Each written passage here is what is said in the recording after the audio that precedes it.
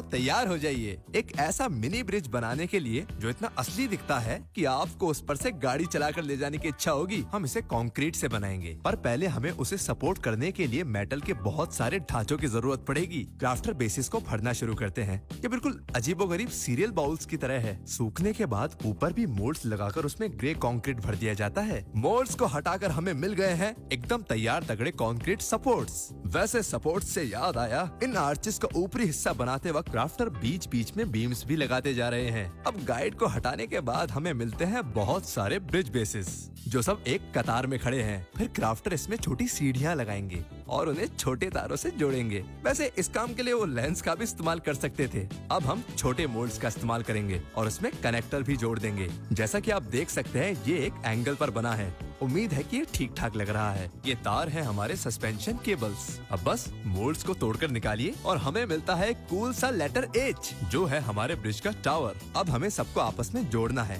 एक असली ब्रिज पर ये लंबे तार स्ट्रिंगर्स का काम करते हैं। और क्रॉस पीसेस फर्श की बीम्स का काम करते हैं। बिल्कुल किसी गिटार की गर्दन जैसा लग रहा है। हमारे लिए कुछ बजाओगे दोस्त?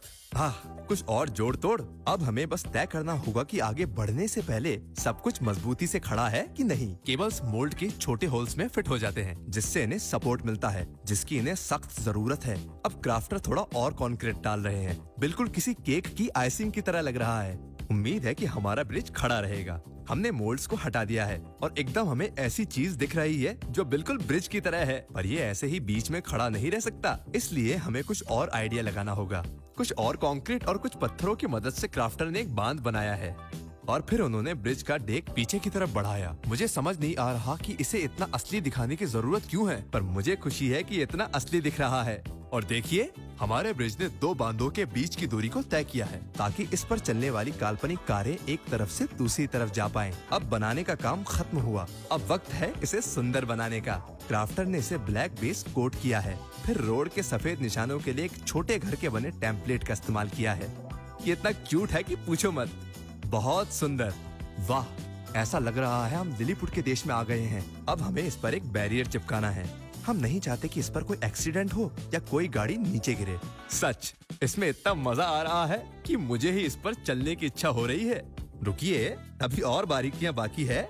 अब हम लगाने जा रहे हैं स्ट्रीट लाइट्स और ये नकली लाइट्स नहीं है, ये असल में जलती है। अच्छा सा पेंट करने के बाद ये इंस्टॉल होने के लिए तैयार है।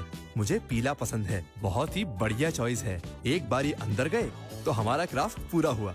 एक पूरी तरह कंक्रीट से बना मिनी ब्रिज। सच, मुझे ये मिनी मॉडल्स बहुत अच्छे लगते हैं। क्या आप ऐसे किसी को जानते हैं जो छोटी कार्स बनाते हो? क्या आपको ये ब्रिज बिल्कुल असली लगी? नीचे कमेंट्स में हमें ज़रूर बताना। और ऐसे ही और वीडियोस देखने के लिए हमें फॉलो ज़रूर कीजिए।